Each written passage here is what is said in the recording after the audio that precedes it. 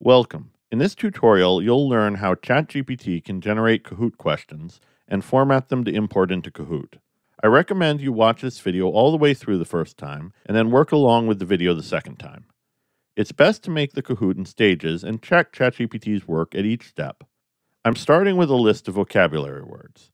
If you have a lecture or book chapter, it's probably best to have ChatGPT summarize it into key points or vocabulary before you turn it into a Kahoot.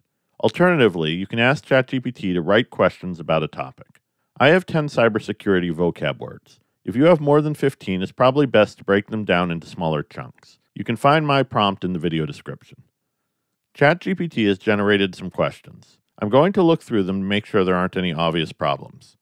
If a question looks over 120 characters or an answer over 75 characters, I'll copy and paste it into this web page to do a character count. There's a link to this site in the description. If there's an issue with the output, there are three things you can do. First, you can press the regenerate button, which will sometimes fix it. Second, you can tell ChatGPT what to correct. Finally, you can scroll up and edit the original prompt. You can try being more specific, though sometimes editing it and resubmitting with no changes will cause it to do it correctly the second time. Next, I'm going to instruct ChatGPT to format the questions as a table that I can paste into a Kahoot Excel template. You can find this prompt in the description. Looking at the table, ChatGPT cut off the questions with an ellipsis. I'm going to scroll back up and edit the prompt. I make no changes and hit submit. This time it comes out correct. Now I'm going to copy the table. Make sure to start selecting at the second row because the first row contains the column headers. With the table selected, press Ctrl-C on Windows or Command-C on a Mac. Next, log into Kahoot and create a new lesson. Click on Add Question and then select Import Spreadsheet. Click Download our template. Give the spreadsheet a descriptive name and save it in a folder. Once downloaded, open the file in Excel or your preferred spreadsheet software.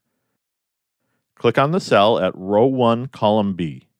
To paste, press Ctrl V on Windows or Command V on a Mac. If you want to go back to ChatGPT and generate another set of questions, you can paste them underneath these in the same Excel file. Save the Excel document and close it. Back to Kahoot, click on Select File. Navigate to the file and select it. Click Add Questions. Check out the problems and make sure they look good.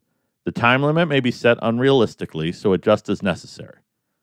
Scroll up to the first problem which was generated when you created the Kahoot and delete it. Finally, save the Kahoot, add a title, and you're ready to go. If you have any questions about ChatGPT in education or topic ideas for future videos, please tell me in the comments. To keep learning, check out the next video and I'll see you soon.